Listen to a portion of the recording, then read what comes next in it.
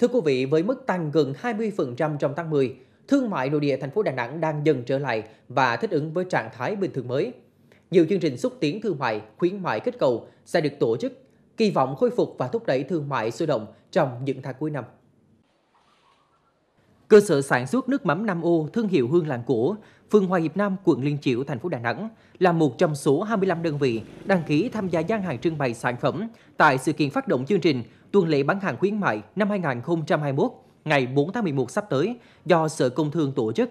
Anh Bùi Anh Phú, chủ cơ sở này cho biết, mỗi năm công ty của anh sản xuất chừng 40 tấn cá cho ra 40.000 lít nước mắm bán ra thị trường. Nước mắm Nam Ô mang thương hiệu hương làng cổ không chỉ bán cho người dân thành phố Đà Nẵng mà chính thức lên kề các cửa hàng đặc sản Đà Nẵng, các siêu thị trên địa bàn thành phố nhờ các chương trình xúc tiến thương mại do ngành công thương tổ chức đã tạo điều kiện cho nước mắm hương làng cổ rất là nhiều trong cái việc mà vừa sản xuất à, vừa tạo đầu ra liên kết với các cái tỉnh liên kết với các cái chuỗi cửa hàng chuỗi siêu thị để chúng tôi có thể là à, lên kệ hàng một cách rất là thuận lợi và người dân được biết đến hương làng cổ sử dụng hương làng cổ rất là nhiều đồng thời là tạo được uy tín lòng tin trong người dân để mà chúng tôi có thể hoạt động tốt và phát triển như ngày hôm nay. Tương tự dịp này, chị Nguyễn Thị Hoài Thương cùng các cộng sự tranh thủ chương trình xúc tiến thương mại tuần lễ bán hàng khuyến mại năm 2021 của Sở Công Thương để giới thiệu các sản phẩm làm đẹp nguồn gốc thảo mộc mang thương hiệu Adeva đến gần hơn với người tiêu dùng Đà Nẵng. Từ một loại cây mọc bình thường ở các vùng quê, trái nhau được các bạn trẻ này chế biến thành nhiều sản phẩm mang thương hiệu Adeva Noni cung ứng cho thị trường với mục tiêu góp phần nâng cao giá trị trái nhau, đồng thời tạo ra sản phẩm có giá trị kinh tế, giúp thay đổi cuộc sống nhiều người dân quê. Sản phẩm làm đẹp Adeva hiện đã có mặt trên kệ các siêu thị mini tại Đà Nẵng, ký gửi tại các sân bay và giới thiệu qua kênh online. Thì uh, cũng dịch bệnh nó ảnh hưởng đến nền kinh tế rất là nhiều. Nhưng mà cũng thông qua dịch bệnh thì cũng có cho chúng ta nhiều thuận lợi là khiến cho cái hàng ngoài uh, ờ, đến Việt Nam nó khó khăn hơn. Cho nên là người ta sẽ tìm kiếm đến hàng Việt và cũng và ừ, cũng thay đổi cái thói quen người tiêu dùng của chúng ta nữa. Thay vì người ta ờ, uh, muốn muốn đến cửa hàng chọn lựa sản phẩm thì bây giờ cái người ta lại chủ yếu là tập trung vào mua hàng online nhiều hơn. Chính vì vậy mà doanh nghiệp cũng bên em cũng đã cố gắng nắm bắt cơ hội này đã chủ động làm marketing nhiều hơn quảng quảng bá nhiều thương hiệu nhiều hơn.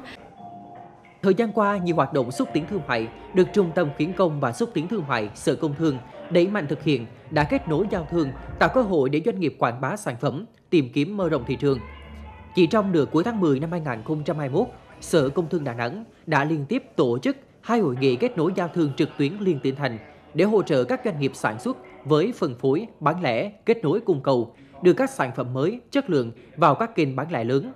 trong tháng 11 năm 2021, Sở Công Thương sẽ tổ chức tuần lễ khuyến mại kích cầu mua sắm với hàng loạt chương trình khuyến mại giảm giá, dùng thử sản phẩm, tạo điều kiện để phục hồi sức mua.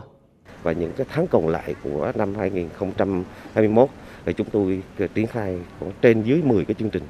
à, như chương trình về kết nối sản phẩm ô cốp, thương mại điện tử, các cái sản phẩm về thương thương mại đặc trưng, rồi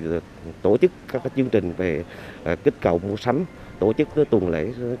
ờ, giới thiệu quảng bá sản phẩm Đà Nẵng rồi ờ, nếu có điều kiện và cho phép và mà tính toán các phương án về phòng chống dịch thì chúng ta tổ chức các hoạt động gì như hội trợ có thể. Các sự kiện xúc tiến thương mại từ nay đến cuối năm hướng tới mục tiêu đẩy mạnh giới thiệu, quảng bá thương hiệu, sản phẩm, dịch vụ, khôi phục sản xuất kinh doanh bị giảm sút bởi dịch bệnh Covid-19, tạo điều kiện để người dân mua sắm hàng hóa thiết yếu với chất lượng, giá cả phù hợp và được hưởng các quyền lợi trợ giá tốt nhất. Kết thúc 10 tháng đầu năm nay, doanh thu bán lẻ và dịch vụ tiêu dùng của Đà Nẵng đạt 65.000 tỷ đồng, bằng 96% so với cùng kỳ. Trong đó, duy nhất nhóm doanh thu bán lẻ hàng hóa đạt mức tăng trưởng dương với mức tăng gần 3%. Kỳ vọng dịch Covid-19 sẽ được kiểm soát tốt cùng với các nỗ lực của doanh nghiệp và sự hỗ trợ của ngành công thương, hoạt động kinh doanh của các đơn vị sẽ khôi phục tích cực trong những tháng cuối năm 2021.